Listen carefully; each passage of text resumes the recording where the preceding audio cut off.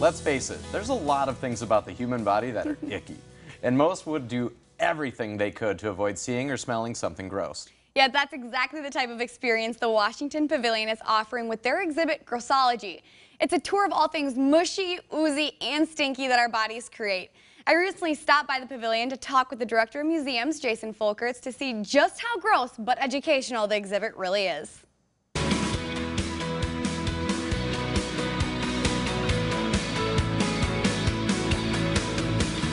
So much, Jason, for having us out here to the Washington Pavilion. We're glad to have you here anytime. So word on the street is that Grossology is one of the most popular traveling exhibits that the Washington Pavilion has ever had.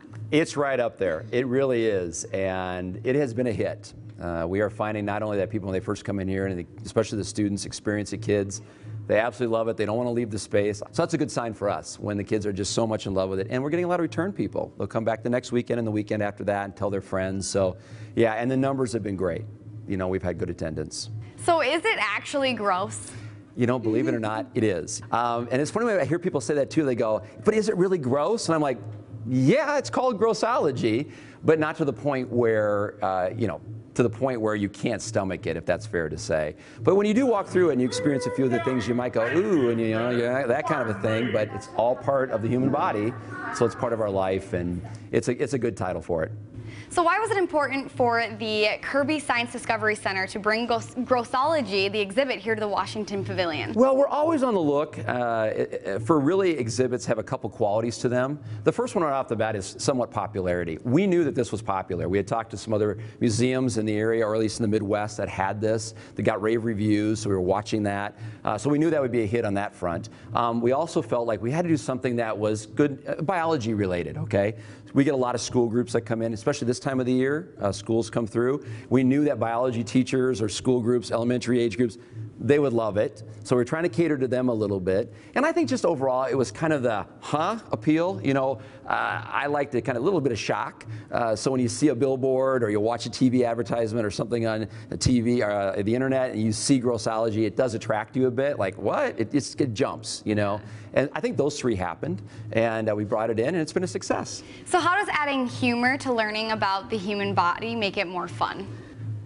Great question. No one's asked me that, and I will tell you that's a big deal.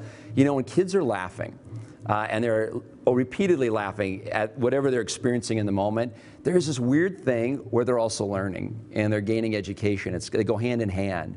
And it's appropriate, but uh, nothing over the top. But it certainly gets kids laughing, and the humor side of it, uh, almost a cartoony type uh, connection point. But then underneath it, you walk away and you go, you know what, I actually learned about three things about my body uh, and why I do certain things. So you win when you do that. And it's not only humor, but it's also very hands-on. So is. how is that beneficial when it comes to education for kids? Um, the, you know, that, another great question. I am such a huge believer in, I call it environmental experiential learning.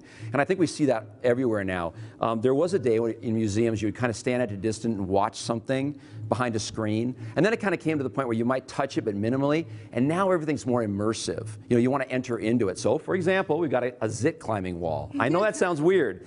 But not only do they learn about that, as this, but they're learning by climbing on it, you know, and, and getting their hands on it and, and feeling what's going on, right? Yeah. So it isn't just the senses of your eyes, it's the senses of your hands and the smells and the hearing, and all those components come together, you learn.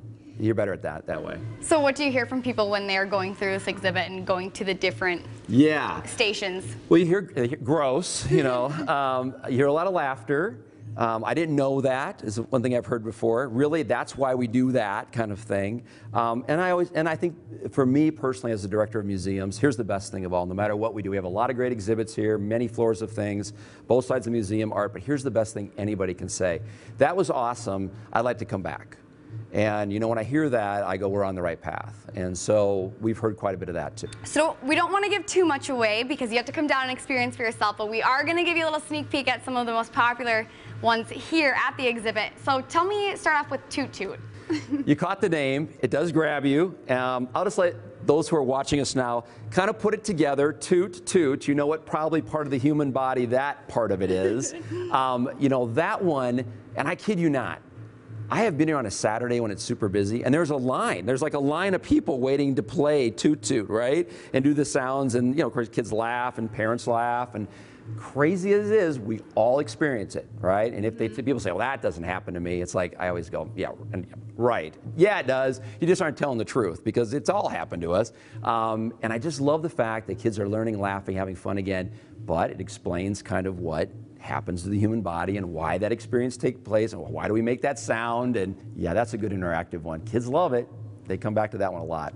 And how about Tour de Nose? Okay, I love this one a lot because there is actually a character, and you know you'll see uh, in this journey who talks to you. It's an English gentleman that kind of is shaped in a form of a drippy water faucet or nose, and he kind of walks through this whole idea of all the stuff that goes on up here in your nose. And I think what I like about this one, the kids do too, it's amazing how many things happen up in your nose both kind of gross, but also probably good. Kind of cleans you out, you know. And he does it in such a like a, a sophisticated way. He takes the edge off the grossness. All I can say is you just got to come down and talk to him, and uh, he'll tell you a lot of things about this thing that you did not know. And how about Urine, the game? Yeah, that's great. I love this one because it's a throwback. Now I'm going to talk to the folks who are my age. Do you remember like Asteroids, Pac-Man, Pac-Man, yes. uh, Galaga? The fun thing is they've taken that concept of like those 80s uh, asteroid type games, uh, and they've kind of put it into the grossology exhibit. You come down and play a video game kind of based around the 80s with the idea of urine and what happens in your urinary tract. And there's a burp machine? Yeah, we got this guy who burps for you, and you can talk to him too, and, and you, you crank him up and shows what happens in your stomach and why you burp, and then he'll talk to you about it. So how long is the Grossology exhibit available to everyone? Great question. Glad you asked that. We're trying to get an extension on this a bit right now. We were going to run it up uh, moving into May, but we're hoping that we can kind of move it a little bit further into the summer because it's been such a hit. So I can't give you an exact date, but I will tell you this. It's going to be here until kind of the end of the school year, uh, roughly. So I'd really encourage everybody right now, uh, get down though to see it. Come down now so you can come a lot because it won't be here forever. All right, thanks so much, Jason, for letting us come Yeah. and play around. Thanks a lot.